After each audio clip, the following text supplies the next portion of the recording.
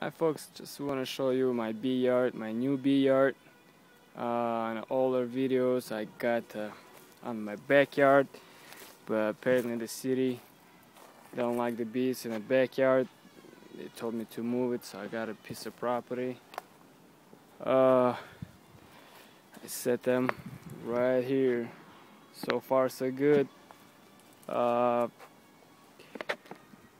number one, the hive, something I made up.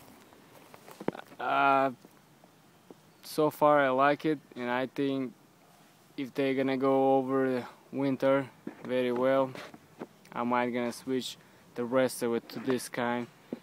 The reason I like it because uh, you don't have to move all those heavy boxes. Just pick this medium, two medium you have on top, and that's it. You got the whole hive. You can inspect the hive.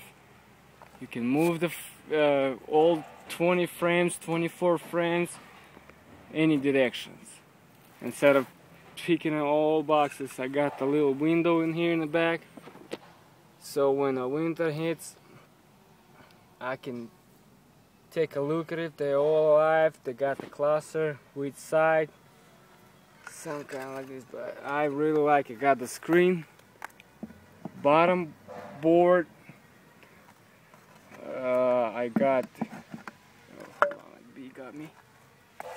Yeah, kind of pissed off today because it's uh, end of the August, August 30th, and it's not really much blooming right now, but got few bees coming with the nectar and all that stuff, but not a whole lot.